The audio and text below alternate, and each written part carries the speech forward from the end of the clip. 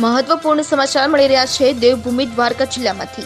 દેવભૂમિ દ્વારકા જિલ્લામાં વાતાવરણમાં અચાનક પલટો આવ્યો છે. દેવભૂમિ દ્વારકા જિલ્લાના બાણવડ તાલુકા પંથકમાં કમોસમી વરસાદના છાંટા જોવા મળ્યા. કમોસમી વરસાદ પડતા ગરમીમાંથી આશિક રાહત થઈ છે. પરંતુ ભર ઉનાળે વરસાદ ખાબકે તેવા માહોલો સર્જાતા લોકોમાં મુશ્કેલીઓ વધી છે.